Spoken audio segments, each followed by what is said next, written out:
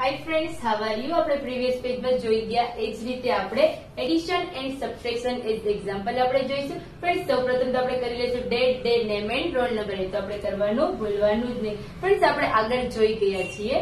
હા હવે આપણે જોઈશું ફ્રેન્ડ્સ આપણને અહીંયા એ જ મુજબના દાખલા આપેલા છે. તમારે એડિશન પણ કરવાના છે અને સબટ્રેક્શન પણ કરવાનું છે. ફ્રેન્ડ્સ તો આપણે એક દાખલો જોઈ લઈશું. આપણે આગળ કરી જ ગયા છીએ ફ્રેન્ડ્સ આપણે ફરીવાર એકવાર જોઈશું આપણને અહીંયા ફ્રેન્ડ્સ એક રકમ આપેલી છે 80 50 અને 30 તો ફ્રેન્ડ્સ આપણે એને એડિશન પણ કરવાના છે એન્ડ સબટ્રેક્શન પણ કરવાના છે. તો આપણે તેને આ બાજુ બોર્ડ ઉપર કરીને એકવાર જોઈશું. 80 50 ત્રીસ. ફ્રેન્ડ્સ આ તમને ત્રણ રકમ આપેલી છે.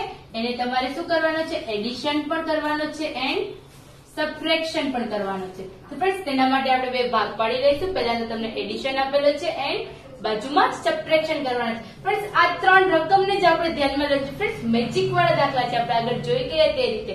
સાવ સિમ્પલ ફ્રેન્ડ્સ આપણે જ્યારે સરવાળો કરીએ છીએ, ત્યારે આપણે કઈ રકમને ધ્યાનમાં લઈશું જે બે નાની રકમ છે. આ ત્રણ રકમમાંથી જે નાની રકમ છે ફ્રેન્ડ તો નાની પહેલી રકમ કઈ છે? 30 તો પહેલા તો આપણે તેને લખી લઈશું ફ્રેન્ડ આપણે પહેલા તો એડિશન કરીશું, તો પહેલા આપણે સરવાળાની નિશાની કરીશું. ફ્રેન્ડ ત્રીસ એક પહેલી નાની રકમ. ફ્રેન્ડ હવે આ બે રકમમાંથી નાની રકમ કઈ છે? 50 તો હવે આપણે લખીશું 50 ફ્રેન્ડ્સ, હવે તમે મેજિક જોજો.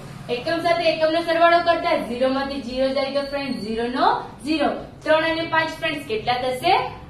8 3 અને 5 8 તો ફ્રેન્ડ આપણો જવાબ જે આવ્યો છે, એસી. ફ્રેન્ડ તમને એ જવાબ ક્યાંય જોવા મળે છે? હા, તો ક્યાં છે ફ્રેન્ડ રકમમાં. રકમમાં જ તમને એ જવાબ મળી જાય છે. તો ફ્રેન્ડ આ જ છે આ દાખલાનો મેજિક તો ફ્રેન્ડ તમે જ્યારે 30 ને પહેલા લખ્યા છે 50 ને પછી લખ્યા છે, તો તમને જવાબ શેનો મળ્યો છે? એસી. ફ્રેન્ડ હવે આપણે 50 ને પહેલા લખીશું. એન્ડ 30 ને પછી લખીશું. તો પણ આપણો જવાબ ફ્રેન્ડ શું રહેશે? 80 એ જ આપણો જવાબ રહેશે. ફ્રેન્ડ્સ હવે આપણે આ સ્ટેપથી સરવાળો કર્યો છે, એટલે કે એડિશન હવે આપણે સબટ્રેક્શન કરીશું ફ્રેન્ડ્સ જ્યારે આપણે સબટ્રેક્શન કરીએ છીએ, ત્યારે આપણે બાજુમાં એ જ એક નિયમ યાદ રાખવાનો છે કે જ્યારે પણ બાદબાકી કરે છે, ત્યારે મોટી સંખ્યામાંથી નાની સંખ્યા બાદ થાય. નાની સંખ્યામાંથી મોટી સંખ્યા બાદ થાય નહીં તો એના માટે ફ્રેન્ડ્સ આપણે શું જોઈશું? પહેલા તો આપણે મોટી સંખ્યા ત્રણમાંથી ફ્રેન્ડ્સ કઈ છે? એસી. તો ફ્રેન્ડ્સ પહેલા તો આપણે એસી લખી દઈશું. બાદબાકી એટલે કે સબટ્રેક્શન કરવાના છે. એટલે આપણે પહેલા તો સબટ્રેક્શનની નિશાની કરી દઈશું. ફ્રેન્ડ્સ એસી માંથી આપણે પહેલી સંખ્યા 50 તો આપણે એસી માંથી 50 ને બાદ કરીશું ફ્રેન્ડ તો એસી માંથી 50 બાદ કરતા. એટલે એકમના અંકમાંથી એકમ ઝીરો માંથી ઝીરો જાય તો 0 8 માંથી ફ્રેન્ડ પાંચ જશે તો આઠમાંથી પાંચ જશે. તો કેટલા આવશે ફ્રેન્ડ ત્રણ.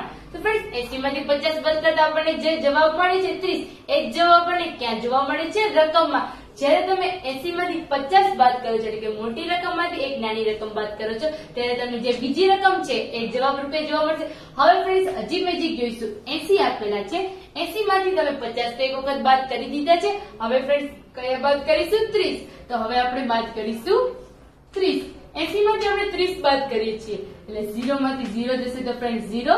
એન્ડ આઠમાંથી ફ્રેન્ડ્સ ત્રણ જાય તો 8 માંથી ત્રણ જશે તો પાંચ. તો ફ્રેન્ડ એસી માંથી 30 બાદ કરતા આપણને શું મળે છે? 50 તો ફ્રેન્ડ આ જ રીતે આપણે દાખલાની મેથડ ખાસ યાદ રાખીશું.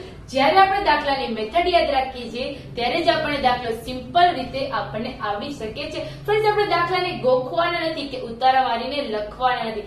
ખાસ તે દાખલાની આપણે મેથડ શીખીશું. મેથડ અથવા તો આપણે શીખીએ છીએ, ત્યારે આપણે ખાસ ધ્યાન આપવું જોઈએ. ફ્રેન્ડ તો હવે આપણે જોઈશું આગળ. ફ્રેન્ડ્સ, એ જ રીતે તમને હજી એક દાખલો હું શીખવાડું છું. ફ્રેન્ડ્સ, તમને નીચે આપેલો છે. અહીંયા એક સમ આપેલો છે. ફ્રેન્ડ્સ, તમને 88 9 અને 79 તો ફ્રેન્ડ્સ, એ પણ હું તમને શીખવાડું છું. 88 9 79 ફ્રેન્ડ્સ, તમારે સરવાળો પણ કરવાનો છે એન્ડ બાદબાકી પણ કરવાની છે. તો એના માટે આપણે પહેલા તો આપણને જે રીતે બુકમાં પેજમાં નિશાન કરેલા છે બોક્સ પાડીને એ જ રીતે આપણે બોક્સ પાડી દઈશું. ફ્રેન્ડ્સ 88 માંથી નવ અને 79 છે. ફ્રેન્ડ્સ આ ત્રણમાંથી સૌથી નાની સંખ્યા કઈ છે? આપણે સરવાળામાં કઈ સંખ્યા લેવાની? જે બે સંખ્યા નાની છે, એ. તો એક સંખ્યા નાની કઈ છે? નવ. તો પહેલા તો આપણે નવ ને લઈ લીધું ફ્રેન્ડ સરવાળો છે એટલે સરવાળાની નિશાની.